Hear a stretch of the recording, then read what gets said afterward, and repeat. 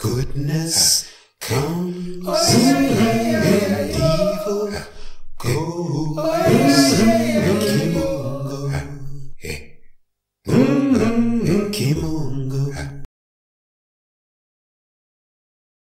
Kimungu Ukombozi, Kimungu Ukombozi, Kimungu Ukombozi, divine liberty, divine liberation, divine freedom, and all that that will bring for African people wherever we happen to be on the face of this earth. Karibu, welcome. My name is Kwende, and today we're going to get into another important subject, and that subject is sacred space on African soil.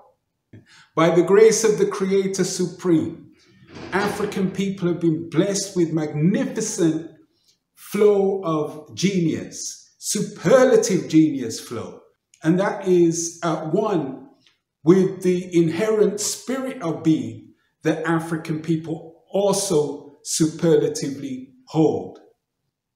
As such, what the African builds, what the African expresses in terms of uh, skill and ingenuity reflects that spiritual living, reflects that spiritual way of life. So feats of excellence and outstanding uh, capabilities become uh, manifest. Now, there are many places on African soil, north, south, east, west, central, that all have examples of spiritually endowed or spiritually enriched expression. What we're going to discuss here is one example out of the many that there are, not only on the African continent, but also uh, in the diaspora as well throughout the African world. Where we're going to go is in a place that is now uh, called Zimbabwe. We're going to look at the ancient city of great Zimbabwe, and great indeed it is. Uh, and to just highlight the significance of this, I'm going to uh, read or share with you the words of an astrophysicist from a European institution of uh, space science and technology. And the words that this astrophysicist had to say about the great Zimbabwe site are as follows. Preliminary investigations do reveal that the native African peoples that built Great Zimbabwe were aware of the sky and may indeed have marked important astronomical seasonal events. For example, in a preliminary survey, a chevron pattern on the southeast corner of the larger outer wall is bisected by the rising position of the sun on the summer solstice from inside the enclosure and aligns with what has been called the altar, or in other words, a shrine, as well as an original pillar inside the enclosure. As this large patterning does not appear at any other place on the outer wall, it would appear to be a conspicuous candidate for the uh, for a summer solstice marker built into the great enclosure.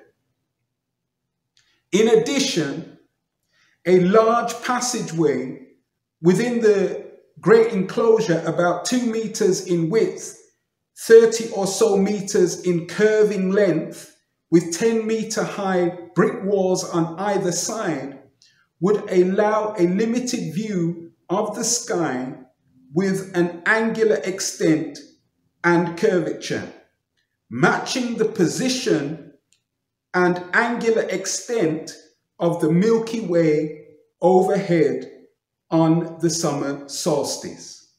While the Milky Way was a very important calendrical marker for the Karanga people of this area who are a part of the Shona, this observation too must be confirmed with further research. Finally, from a cleared platform at the top of the hill complex, two large stones approximately five meters in length in close proximity to each other can be seen to form a slit directed precisely east, which could have served as a solar marker for the equinoxes.